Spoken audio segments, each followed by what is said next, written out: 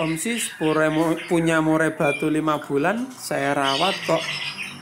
Tetap gesit tetap nabrak ruji dan kalau didekati eh, loncat-loncat ketakutan. Nah setelah saya kerambah juga nggak mau nyocok-nyocok. Terus setelah saya kasih air dalam cepuk saya spray tipis kok jadi mau mandi Oke teman-teman, uh, ini adalah keluhan dari salah satu teman kicomania burung rawatan berbulan-bulan muda hutan masih gesit.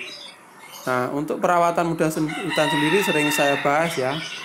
Nanti kita tambahi. Sebelum saya lanjut untuk teman-teman pengen gabung di grup Telegram, cek di deskripsi ada linknya. Untuk teman-teman yang pengen nomornya admin di deskripsi juga ada.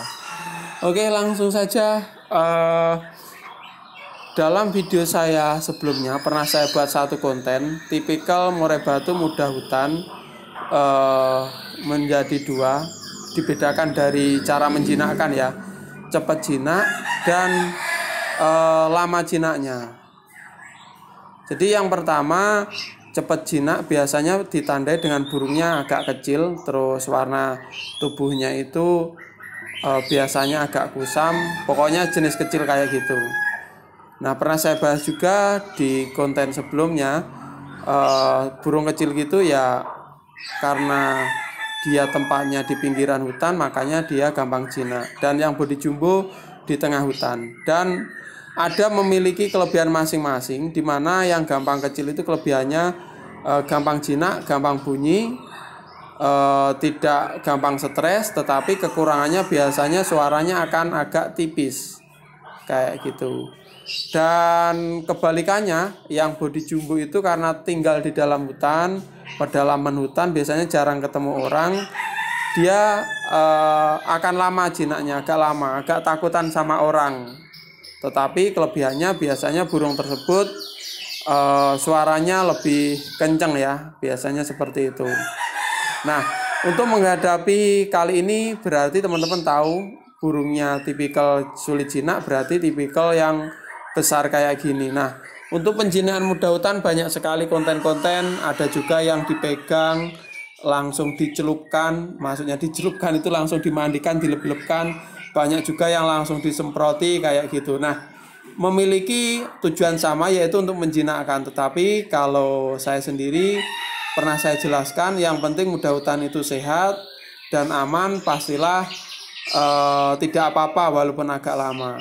Jadi bagaimana caranya supaya aman? Uh, pernah saya bahas juga itu karena mudah hutan juga rawan uh, stres atau sakit atau mati ya teman-teman kayak gitu. Itu harus sesuai dengan uh, apa ya teman-teman? Kondisi burung. Jadi kita harus sesuai dengan kondisi burung. Kalau dulu pernah saya bahas juga ketika pengeboran ketika bulunya ngembang itu jangan lakukan atau jangan teruskan untuk melatih for itu bahaya bisa ngedrop. Sama halnya dengan penjinakan ini. Jadi di mana e, muda hutan yang pertama supaya jinak dia harus dilatih.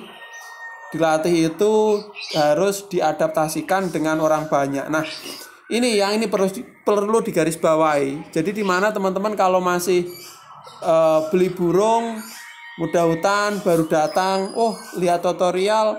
Harusnya di tempat rame. Kayak gitu. Ini harus saya taruh di tempat rame pinggir jalan. Nah itu yang kurang pas. Jadi pembelajarannya cuma sepenggal sepenggal kurang pasnya bagaimana? Jadi untuk uh, menaruh di tempat rame harus bertahap. Jadi kalau saya sendiri saya tunggu kondisi burungnya di rumah sehat ditandai dengan ngeriwi bunyi kayak gitu dia tetap aktif itu bisa kita lakukan kita taruh di tempat rame. Yang pertama itu jadi cara pertama ditaruh di tempat rame atau lalu lalang dekat orang lewat. Tapi dengan satu catatan burungnya harus sehat. Nah sehatnya bagaimana? Yaitu tadi eh, ditandai paling tidak dengan bunyi yang kedua dia tetap agresif kalau terjadi kita lakukan hal itu terjadi dia uh, malah kurang agresif di mana seperti sehat tapi loncatnya kurang agresif itu teman-teman harus hati-hati rawan ngedrop. Karena mudah hutan. Nah, caranya bagaimana kalau posisi seperti itu?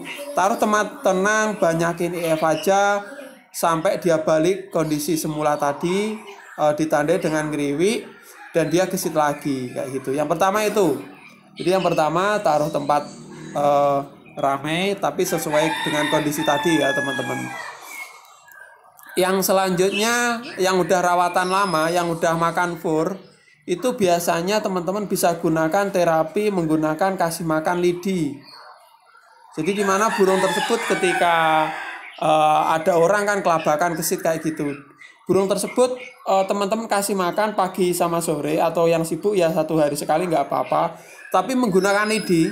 Jadi satu lidi utuh itu kalau posisi burungnya agak lapar, misalkan pagi nggak mau, jam 6 nggak mau, jam 7 nggak mau. Ya mungkin sekitar jam 9 dia udah lapar, coba aja kasih menggunakan lidi.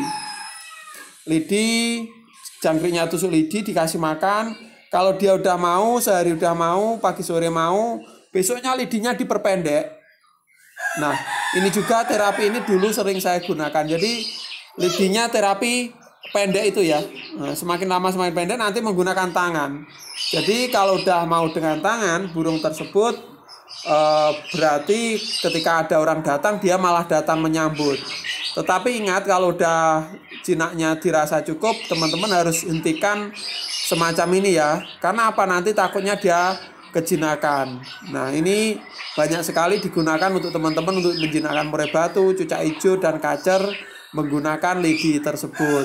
Terus selanjutnya eh, selain lidi biasanya ditaruh tempat dekat nonton TV. Nah ini eh, teman-teman perlu digaris bawah juga caranya bagaimana ya ini memang terapi bagus sih biasanya taruh tempat TV dengar suara uh, apa ya musik dia malah bunyi-bunyi itu ada. Nah caranya bagaimana dicantolkan agak tinggi di kerobong separuh biasanya seperti itu. Kalau dia nggak loncat-loncat ya udah biarkan. Tapi kalau loncat-loncat berarti posisinya diganti entah kurang tinggi sedikit atau sebelah agak jauh sedikit kayak gitu.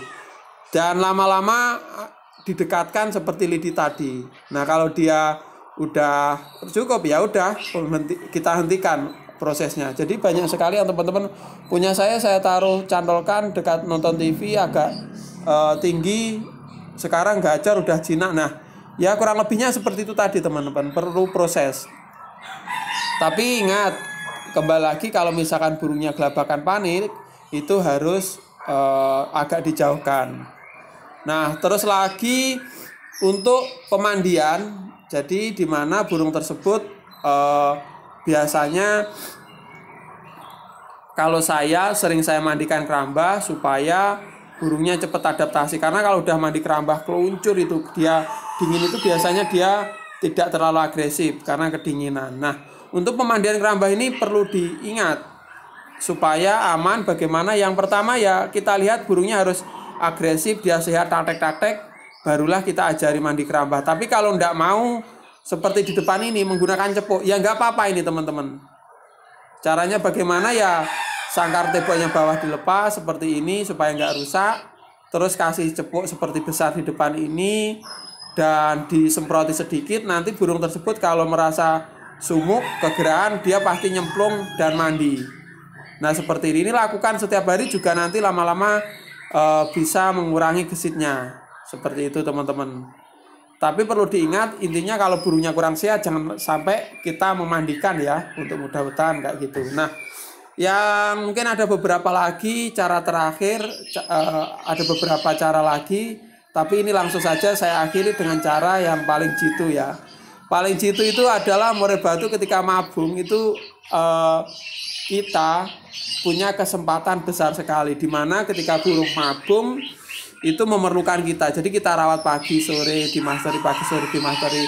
Otomatis burungnya 90% akan jinak nanti. Mudah hutan seperti itu. Bahkan dalam konten saya sebelumnya untuk menjinakkan murai batu uh, yang nggak mau jinak-jinak setelah mabung pastilah dia jinak otomatis ya kayak gitu. Tetapi dalam uh, penjinakan ini banyak yang kelewatan jadi malah jadi ngelowo juga ada kayak gitu makanya teman-teman Om setelah mabung kok jadi ngelowo ya itu tadi teman-teman karena dia merasa tergantung pada kita ketika mabung kita rawat e, pagi dan sore akhirnya dia merasa terbiasa dan ya tergantungan tadi teman-teman.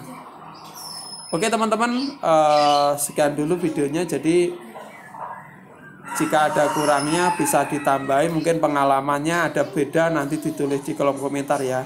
Yang intinya yang terakhir tadi rata-rata mudah hutan itu bagusnya kalau setelah mabung. Jadi setelah melihat video ini semoga nanti punya teman-teman jadi bagus semua oke sekian dulu. Semoga bermanfaat. Salam hijau mania dari Tulung Agung